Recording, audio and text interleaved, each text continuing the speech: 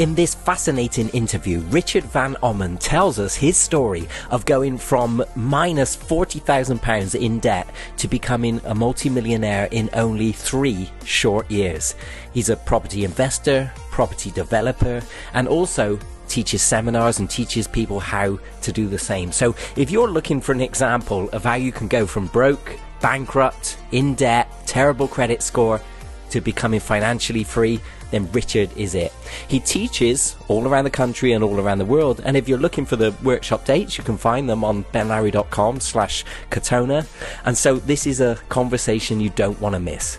Also, our podcast sponsor is the European Hemp Company. Listeners of this podcast can get £10 off and free shipping on CBD oil. Simply go to europeanhempcompany.co.uk and use the code BenLowreyPodcast at checkout. If you're interested in being a guest on this podcast, go to benlowrey.com slash podcast guest.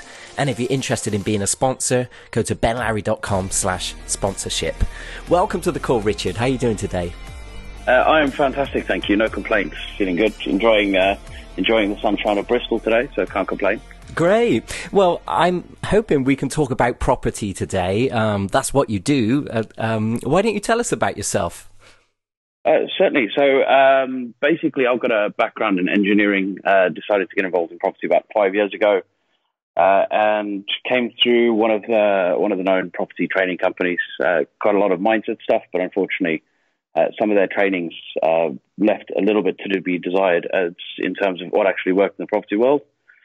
So after struggling, managed to reverse engineer the whole property investing process, found a way in which we could find deals easily, and I suppose it all kind of took off from there. So yeah, I've been um, sorry, carry on. Oh no, I was going to say you you teach seminars and you teach people. So at what point along the line did you begin teaching? So basically, um, I started working with my business partner Taro about three years ago. Um, and after about 18 months of us working together, we realized that what we are doing is pretty outstanding and it can really help a lot of people. So in about November 2017, I started taking uh, individual mentorship students on. And then I think it was in about April or May of 2018, so a little over a year ago, uh, we launched Katana Training as a full brand. Um, and since then, we've trained uh, tens of thousands of property investors uh, all across the world now, which is great. We've got 130 direct mentorship students that we work on one to one. and between them, they've probably done, uh, in the last year, probably 80 to 100 deals have been done through our students. Crikey. Yeah, it's, uh, yeah, it's, um, it's going well. Oh, that's, that's fantastic. And I'm curious about your background. I know you said you're an engineer engineer. But were you also a businessman before you started doing property investing? Um, interestingly enough, no. I uh, so I I basically got um, I had a bit of a rough time in my working career. I managed to lose a contract and lose the ability to work on the railway. Um, but at the same time, I managed to read a book called Rich Dad Poor Dad, which I'm pretty positive you've probably heard of. Mm. Uh, and uh, it kind of showed me the fact that um, business and property was a way in which you could sort of hold the keys to your own castle, hold the power to being able to feed your family as opposed to relinquishing that power to a boss or a manager. Um, and uh, yeah, so about five years ago, I got interested in business. My dad's run business when he was younger uh, with varying success. Um, and yeah, I just basically said, look, this is this is a way I want to take, and sort of kicked off with that, and never really looked back, if I'm honest.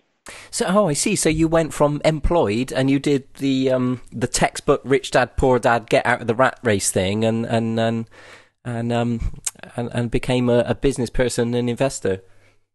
Correct. Yeah. So, I mean, my skill set typically is, uh, as part of being an engineer, is um, problem solving. So, I'm tremendous at problem solving. So, I was, I managed to sort of muddle my way into business, made a lot of mistakes, lost a lot of money at the beginning, um, and a lot of it I couldn't afford to lose at the time, so it was very interesting. Uh, but managed to find a way to where we are now, which is I think we got seven, five, six, and seven figure businesses, multi million pound portfolio, six figures of income.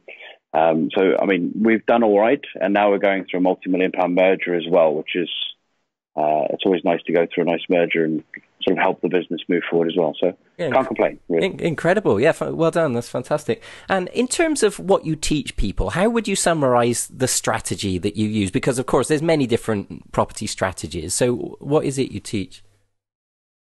Um, so basically, the things that we teach is more systemization around property. So a lot of the training companies, the way in which they teach is they teach you uh, a lot of the things such as, you know, this is a nice area, this feels good, or this has this school or has this thing in the area. Um, and for me, it's a very subjective sort of thing. And then they'll also teach you about how to negotiate with um, vendors and stuff like that, which is, again, it's very subjective stuff.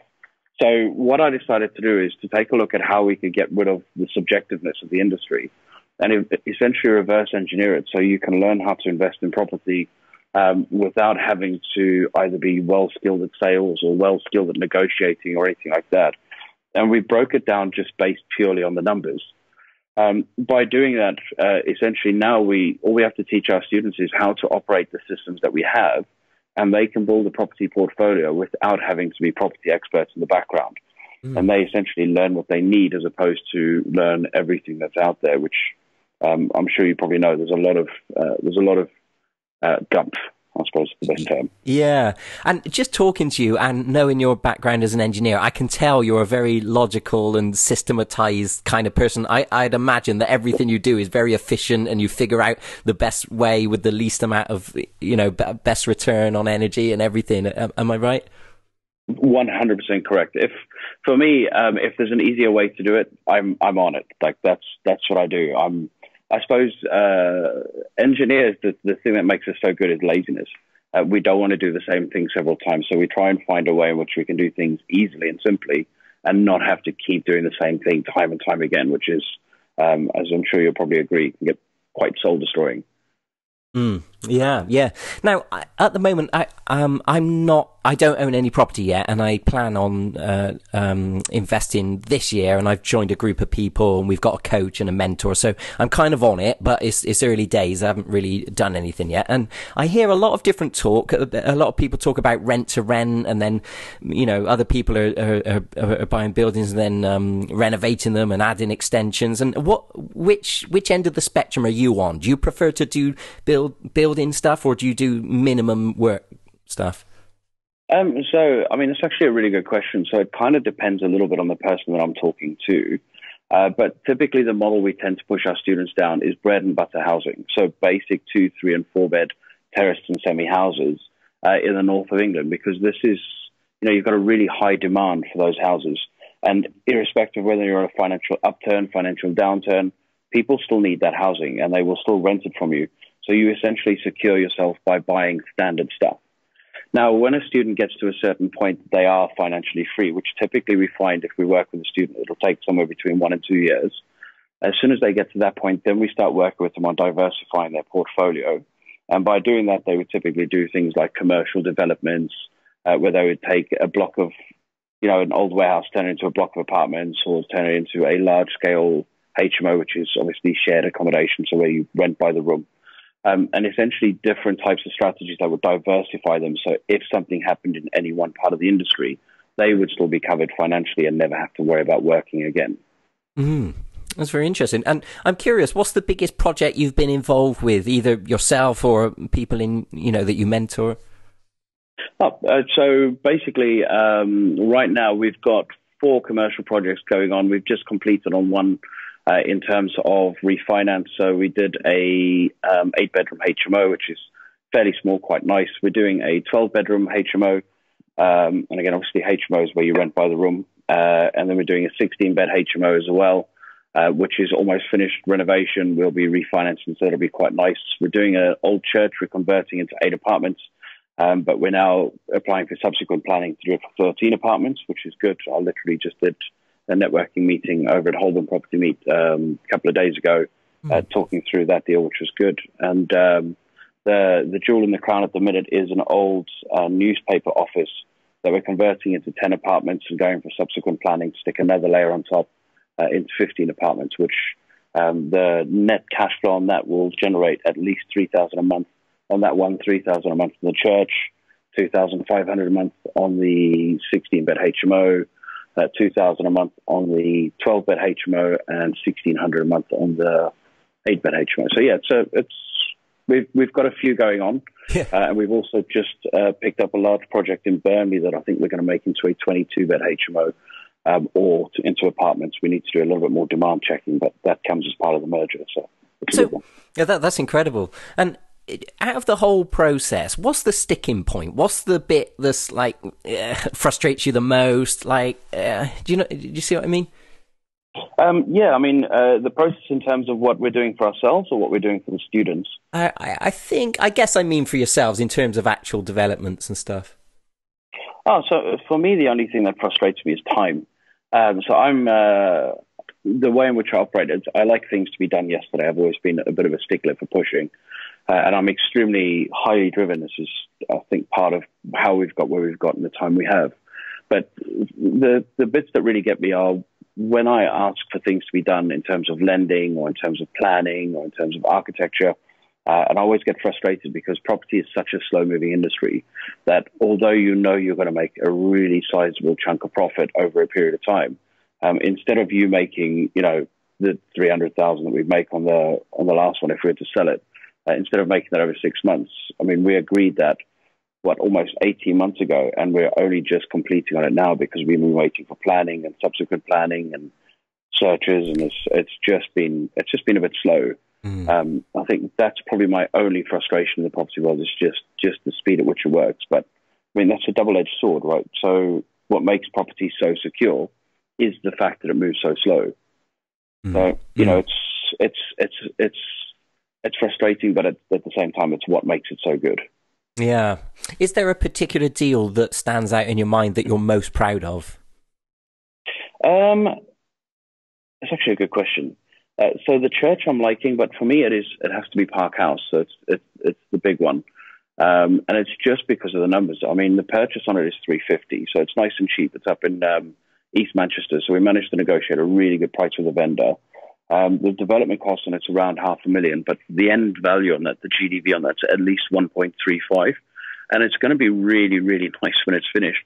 The positioning, the location, everything is is literally perfect. So um, I think that's probably the one for me at the minute that I'm very excited about. And I mean, considering I've been in like actually physically investing in property for just over three years, it it feels like a pretty big win for where I'm at in my journey. Wow, just over three years. Correct, yes. Ah, that's incredible.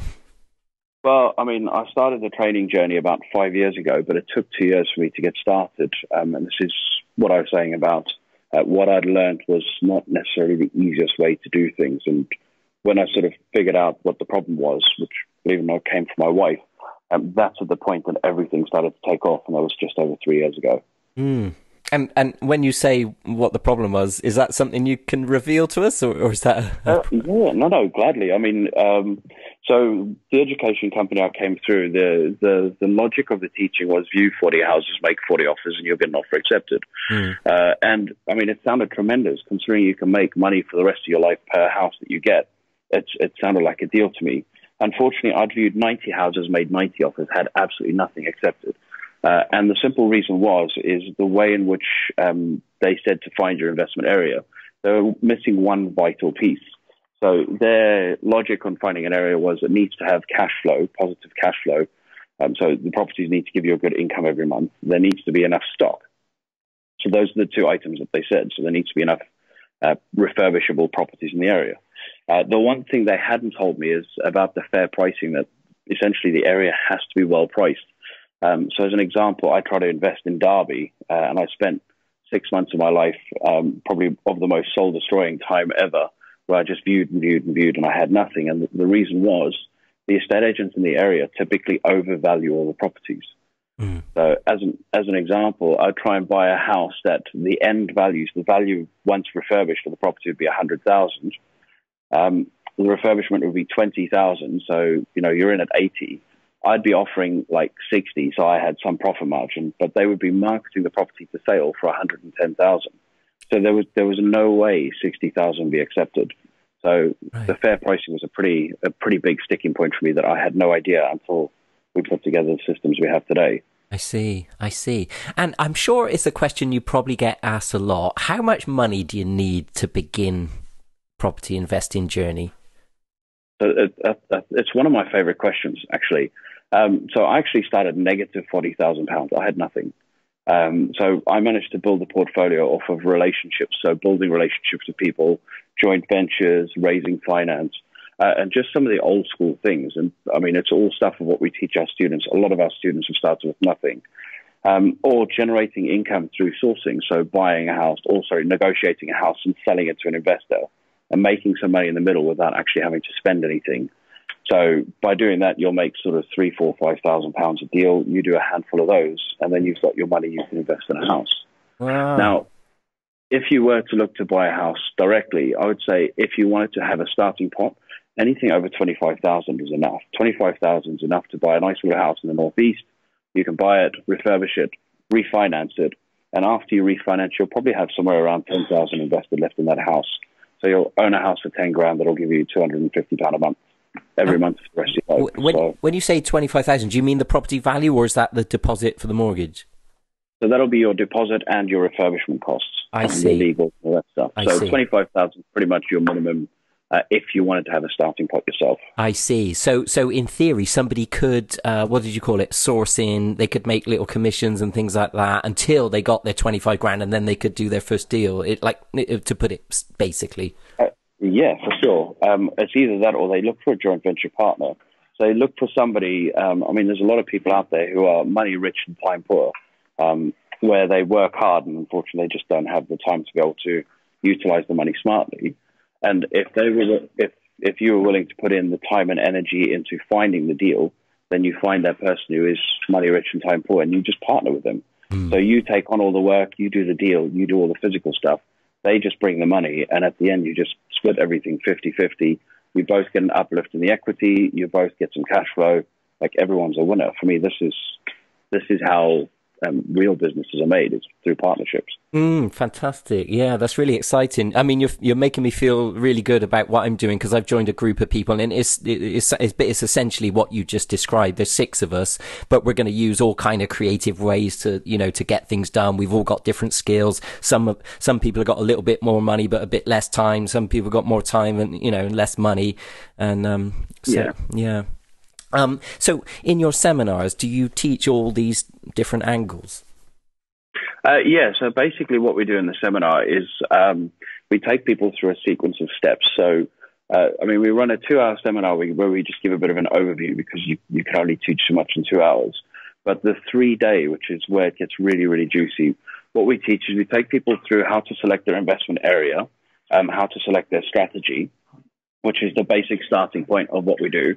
Um, and then we take take them through uh, how they'd be able to go find deals, uh, how they'd be able to analyze the deals, how they'd be able to view properties, how to calculate out refurbishments, um, how to progress the deal. So when you get the offer accepted between them and being able to actually complete and rent it out, um, how to be able to raise finance, um, and I think a couple other bits as well that I can't think of off the top of my head. So yeah, I mean, we, we take you through the entire process. So um, you know exactly how to do everything from start to finish, uh, which for me, it's all about the value. If you're not adding value in a three day training, then, uh, you know, you shouldn't be doing this three day training. Yeah. So yeah, so people, you know, people walk out with everything they need as a base.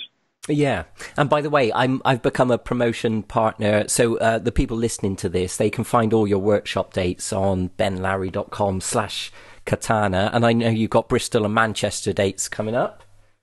Yes, that's correct. So we're actually doing uh, the two-hour seminars right now in Bristol. Uh, we're lining up for a session this evening, which will be happening in about three and a half hours, which is um, quite exciting. Um, and three-day in Manchester we've got, uh, which is the 10th to 12th of May. Um, Bristol, we're still finalising a three-day. We may uh, move people into Manchester or London, and then in London we're also in June, uh, and then we're back to Zurich, back to Manchester, back to London. So um, yeah, it's going to be a, a busy but exciting year. Get to meet a lot of new people and get to change a lot of lives. So. Fantastic. And when you say Zurich, are you doing stuff internationally? We are, yes. So, irrespective of where you are in the country or in, the world, in fact, um, we our systems will operate and be able to help you build a portfolio in the UK. So, we've actually got partners in um, Singapore that we're working with. We've got students out in Sweden, got students out in Zurich, uh, students in Germany, um, and they're all building UK-based portfolios. Um, and it's in part because of the systems, and also in part because we've created a very solid base of a team. So the only thing you'd need to do that you need to be in the local area for, which is viewings, Uh, we've actually got a team of viewers that can actually view the properties that have been trained by us, know how to cost up refurbishments, know how to do everything, and then everything's vetted and checked by our building team as well as a structural surveyor before the client actually then goes ahead and spends any real money on the property. So, yeah, it's, uh, it's all systems based. So. Yeah, yeah. And in terms of are you the kind of person like a Gary Vaynerchuk kind of person that just enjoys the buzz of working and is what you love and is is is that what you are or have you got other hobbies and you enjoy going on holiday and taking a rest as well? So uh, it's it's a very interesting question. I, so I often have the the conversation with people of what you know what would you do when you're financially free, and often the first thing is oh I'd give up work. Uh, and the thing that makes me laugh is when you ask them, okay, when you've given up work, what would you do? And eventually, what it leads to is they would just work because us as human beings, we're designed to do work, but the difference is it's work that we enjoy doing and we're passionate about, so it doesn't feel like work. What I do feels like a hobby. I, I love work with people. I love helping people. Um, and there's nothing more gratifying for me than listening to another student who tells me, look, I'm financially free. My kids you know, their life's all set, my life's all set. Me and my wife get to spend time together. You know, we get to do what we want. Like that, mm. that's the stuff that lights me up.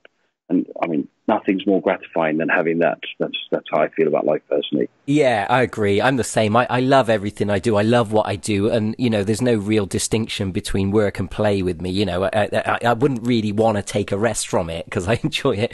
And actually, it reminds me there was a Gary Vaynerchuk video, and he said something. He said he said, I don't want to go skiing. I don't want to sit in a beer garden. I don't want to go to a fucking museum. You know, and he was going on like this. He was like, I enjoy what I do, you know, just like get it through your head. Yeah. I don't want to go on holiday, you know? Yeah, exactly the same. Now, my wife would obviously love to spend a little bit more time holidaying and stuff like that. But, you know, I, I get to do what most fathers don't. I get to take my kids to school most days. I get to hang out with them in the afternoons. You know, I, I get snuggles with our seven month olds whenever I want them. So, you know, for me, that's that's the juice. That's what I want. That's that's the fun stuff. Mm. Yeah, yeah, wonderful. And um, Brexit is not something that bothers me or concerns me or that I particularly care about, but I, am sure you get asked a lot. Uh, what's your view of the economy and, and that kind of thing with regards to that? Um, actually, I'm looking forward to it, to be honest. Uh, so, any massive financial shift is a great opportunity uh, for those that are prepared to make money uh, very, very simply. So, um, what I tend to look at is uh, if you're investing based on cash flow, uh, I mean, mortgage rates tend to move very slowly. So, your cash flow can't really be affected particularly fast. And the value of the property doesn't affect your mortgage rate. So, if you go into a Brexit situation or recession situation, providing you're buying based on cash flow, um, then you're in a position where you're kind of Brexit proof uh, providing the mortgage interest rates don't hike up ridiculously fast. And if they did, let's be fair, the UK economy would have a lot worse problems um, because it would be in a hole immediately. So, uh, for me, if you're buying based on cash flow, I don't, I don't think you have anything to worry about, providing you know what you're doing, of course. Yeah, that's my instinct as well. Uh, um, people tend to get a, a little overly um, f- fearful about these kind of things, don't they? Correct. Yeah, it's it's it's a, it's a question that comes up at each one of our sessions. We actually do a whole uh, segment now on, on our two hour sessions just because it was one of those questions that people kept asking. But honestly, for me, Brexit's a, it's it's going to be a breath of fresh air. It will help restabilize the economy as to where it should be, as opposed to um, you know where it has been. You know, the not knowing has created more of a problem than whenever we just get an answer. Yeah, yeah. And I think that the the true entrepreneurial attitude is that there's opportunity in any market condition in there. You know, wherever there's a problem, wherever there's volatility, wherever there's wh- wherever's going on, there's an opportunity. It's just that opportunity might change depending on the conditions. Exactly, exactly how I feel about things. Yeah, yeah, yeah. Same here. By the way, I'm registered to your Bristol uh, thing tomorrow night, so I'll I'll be there. Um, Fantastic. Yeah, so I'm looking forward to that very much. So, um, now what I was going to ask about finance in terms of, I don't really know uh, much about lending requirements, uh, or rather, I mean borrowing requirements or alternative forms of finance raising. I don't really know much about it, but um, what do you what do you teach people in your courses? Uh, do, do you advise them to go after a range of different uh, sources of funding? Um, so basically, uh, the one of the most important things we do is we teach them how to actually go out and create relationships, um, and then look if they can establish a relationship and then possibly raise finance off the back of it. Uh, I'm, of course, like everyone, I'm a little bit um, cautious when it comes to what we teach our students. I would never want them to come unstuck and do anything illegal. So for me, it's very important they go and create relationships with the people they're spending time with. And we teach them how to create the curiosity in the conversation, to form a meeting or forming a meeting, take them through um, an entire sales process and show them how to essentially raise money quickly and easily. Mm. Uh, I mean, myself and Tara, we've raised give or take two to three million in the past um, three years, uh, which we've used to help um, basically slingshot the building of our portfolio. Uh, and it's all done through the very same technique that we um, use to organize the merger, the same stuff we teach our students, uh, which very simply is just talk to people. Like you just need to talk to people, create those relationships, and have a conversation and just see where it goes. If it's a good fit for them, it's a good fit for you, and everyone wins. As far as I'm concerned, there's there's nothing wrong with sort of proceeding on that basis. Is it theoretically possible to find 10 different investors that will all put in five grand each and then do a joint venture? I mean, would, would something like that work? Um, theoretically, it's certainly possible. Uh, it would then be just a, a, semantics conversation as to how you do it. Um, you'd all have to prove where the funds come from for money laundering purposes, which the solicitor would all take care of. Uh, and the, if it was a joint venture, the easiest would, way would then be through a limited company, um, just because it gives one the most security and two the most clarity as to how to do the whole thing. But then you need to decide who's going to be the primary shareholders, who's going to be signing um, off on paperwork, holding the personal guarantees. I mean, there's there's a few conversations that come from it, um, but in theory, there's nothing stopping that from happening. From my understanding of where I am, where I'm at today, really. Mm. Is there unethical practices within the seminar property industry? Without a shadow of a doubt without a shadow of a doubt. Um, but I do believe that most seminar companies and speakers are doing what they believe is correct, um, and they're doing it for the right reasons. There are some out there that are doing it purely for financial gain. Uh, and don't get me wrong, I mean, every business has to make enough money to wash its face. You know, it has to, the wheels have to stay greased. But um, I know many trainers out there that are purely in this for the money. They, they actually have very little interest uh, in the success of their students, which surprises me. But you know, you tend to see the rise and fall of the gurus throughout things like this, um, and there's a few out there that have had a pretty bad uh, rep of late um, that you may have seen on, throughout social media and stuff, um, going through much of this uh, threatening and bullying tactics and stuff like that. So, right. uh, but yes, there is definitely some dirty practice. But for me, it's it's a very simple question. Um, if you intend on being in an industry for long term, um, how do you think that that won't ever get found out? Like it just it's illogical to me. But yeah, you know. I'm actually not familiar with what you're referring to, but I will go and look it up because I'm, I'm curious to see what happens. um, and also, I'm curious. I don't want you to name any names or embarrass anyone, but have you ever seen somebody do something really stupid where a deal just became a, a, a complete disaster? Um, yeah, I mean, to be fair, I've I've been involved in something like that um, previously, where we um, put too much faith in a builder. Uh, where unfortunately uh, we lost a hundred thousand pounds on one deal, which was a little bit of a, a, shocking experience, and certainly took a little while to recover from. And it purely came down to the fact that we just didn't do good due diligence. Um, and it's one of the things that, like uh, as with everything, some of the best lessons in life are created through pain. Uh, and one of the things that it taught us to do is create a much stronger due diligence process around our build teams, due diligence process around our build costs. Um, and we actually created a refurbishment company off the back of this as well to protect our students from going through the same. Um, but yeah, it was uh, it was it's surprisingly easy to lose a lot of money in this industry if you don't know what you're doing, uh, which is, which surprised me. Um, I didn't see that would be the case. Mm, mm. What's the biggest misconception that just that the, the average ordinary person has about property investing? Uh, that you need a lot of money to invest. Mm. It's it's from for me it's the most comical one. Um, now, don't get me wrong. If you have money, it definitely helps you along on the journey. But I've built my portfolio from nothing, negative forty thousand. I have mentorship students that are financially free that started with like five or ten thousand. Like it's not having a lot of money isn't essential. It's useful and it helps, but at the end of the day, there is an abundance of money out there. It doesn't have to be your money that you're using to invest. providing obviously the partner that you're coming in with is comfortable with the deal as well. So mm. that's probably the biggest misnomer for me. Um, yeah, I think so. So that was around about 2016, was it? About three years ago when you when you went from negative 40 to. Correct. So yeah, so about three years ago, I'd lost the contract on the rail. I've been off the rail for about four and a half years now, um, and essentially dwindled through the money I had. Started trying to get involved in sourcing. Um, was picking up other little side gigs just to try and make ends meet. So I had a young family uh, and uh, you know downsized in the house. You know, been through bankruptcy, CCJs.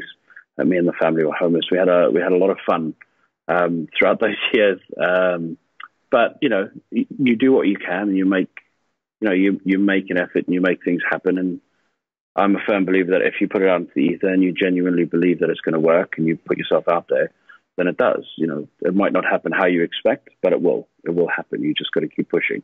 Mm. I, I know you mentioned Rich Dad Poor Dad, but are you somebody who generally invests a lot of time in reading and education and learning, or do you prefer to just sort of get on with it? Um, it, I, it, comes in fits and starts. So right now I'm busy training for the London Marathon, uh, and when I run, I tend to love listening to a good book. Um, and the books I always do are educational books. Uh, now I haven't run anywhere near as much as I should have for the marathon. Uh, it's my first ever marathon. I ran the furthest I ever ran the other day, which was 20 miles, and I was dying. So I'm not quite sure how I'm going to cope with it in a couple of weeks. But um, my, I would definitely say uh, I love to invest time in learning when I get the time. Um, I don't tend to have as much time right now just because we're going through the company merger, uh, which um, I'm sure you're aware probably takes like it takes a lot of time. Um, but yeah, when I get five minutes, I love I love a good um, educational book. Yeah, especially it's... metaphors. So, uh, what was that you say? Uh, especially one with metaphors, so like books with parables, things ah. like um, Way of the Peaceful Warrior or The Alchemist, or you know even Rich Dad Poor Dad. They're all um, story-based books that have a lot of undertones and metaphors. For me, that's it's the most enjoyable way to learn. Yeah, I like stuff like that. I was just listening to Jordan Peterson talking about a similar thing. He, he was saying how that you know there's, there's, there's such a lot of content in those old um, those old stories, whatever you call them. Yeah, for sure.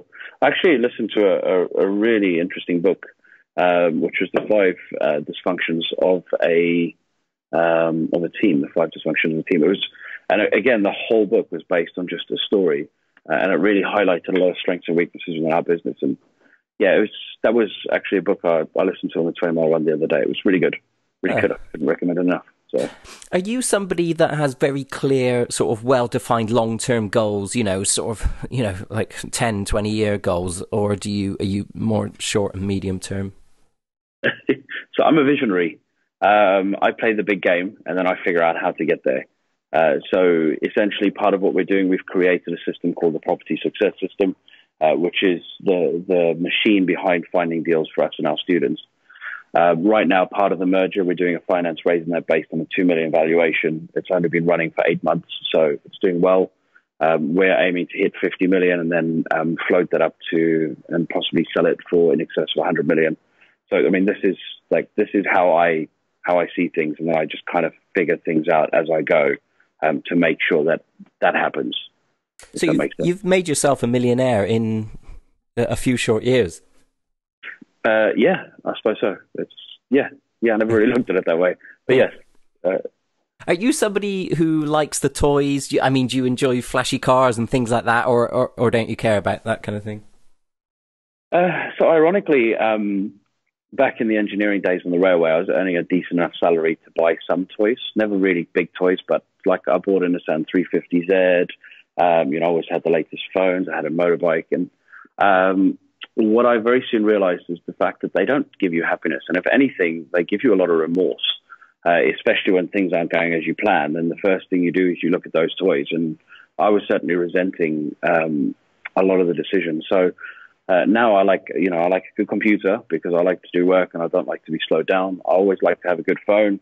Same thing. Um, I don't like to be slowed down uh, and just a nice house for my wife. So we've just bought a, a nice five bed, um, three reception house over in Sevenoaks, um, which now should keep her out of my hair and out of trouble for a little while. Um, but but other than that, I mean, you know, I want another motorbike, um, but it's it's it's on the nice to have list, which is a long way away. uh, I've got way too many other things I want to do with my life before um, I take myself out on a motorbike. So. Yeah, yeah. Um, and also, uh, as well as the seminars, is there an opportunity? Do you give one on one coaching to people that want it? Uh, yeah, for sure. So basically, at the um, three day seminar, we talk people through um, the process of how we can work together. And I typically akin it to um, being in a relationship. So the two hour free seminar is typically like um, a first meeting, like the platonic meeting before you get in a relationship. Then the three day seminar is where we have our first date as such. Um, and we'll do that over three days. And then if everyone's happy and we like what we see and they like what they see, uh, we'll move into a two-year mentorship, which is um, essentially the relationship. And then when we help a student achieve financial freedom, which typically we do in a couple of years, uh, at that point, then we offer some form of partnership uh, if they're after it. So this is where we'll do big deals together, or we'll help them become presenters, or we'll teach them through some form of business, or um, just something that will help them sort of make a bigger impact in life than you know what they otherwise would have. Right. Um, yeah. yeah. And in terms of in terms of time management and mapping out, because you've got a lot on your plate. You know, clearly you've got a lot of projects, a lot going on. Um, do you have like what systems do you use in order to organize your thoughts and your time? Uh, so basically, uh, when it comes to calls, normally I use automated calendar booking. So mentorship students can slot in in my call times. Uh, and I do everything through, um, it's now called OnceHub. It used to be called Schedule Once, but now called OnceHub. Um, then uh, we use we used to use a lot of project management tools. There's one called Team Manager, uh, which was terrific, but it was very complicated. And we actually ended up bringing a lot of things back down to uh, Google Sheets uh, because everyone can update it live at the same time. Uh, we use Trello, so Trello is a pretty powerful tool for us. Um, and uh, I, basically, I'm, I'm now in a position where we leverage quite a few people's times. We've got a, a decent team behind us. Um, there's a few partners in the business, and essentially we've just got to a point where everyone kind of knows their role, they know what to do, and as we continue to scale, then we kind of deal with any of the challenges that come up uh, mm. as they come. But you know, regular team meetings, uh, at least three calls a week uh, as an average, um, regular board meetings at least once a month for a face-to-face board. Um, so yeah, I mean, I, w- I would say time management wise, not as many systems as I'd like um, but more just having the right people doing the right things. Oh, and my favorite actually is Wunderlist. Um, so this one we use a lot, like a lot, a lot, uh, where you can set each other tasks to get done, and it goes on to-do lists based on whatever list you want. So we use it in company names, um, and then people just get their stuff done on that. It's it's a really simple way, um, which I like because it's cross-platform. Ah, okay. Um, yeah, that's good to know. And did you say you're based in Bristol? Uh, no, no. So I'm actually based in Sevenoaks, uh, over in Kent. Okay. Um, but I'm I'm up here presenting this week. Um, next week I've got three sessions: one in Liverpool, one in Leeds, one in Manchester, uh, and then I'll be home for um, the weekend. I think me and the family are going to go away for the weekend, go um, have a good time, and I think, uh, yeah, I can't remember where. The wife's organised it. I just kind of turn up.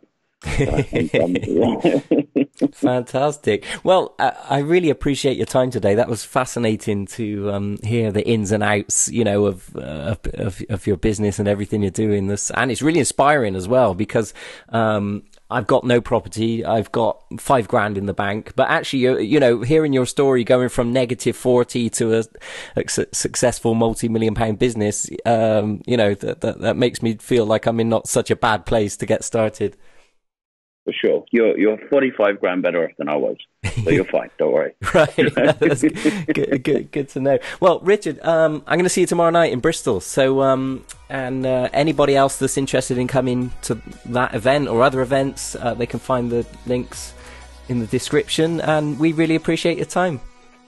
Perfect. Thank you very much, and uh, have a good one. And I'll speak to you tomorrow. Wicked. See you then. cheers. All right. Bye bye. Bye bye.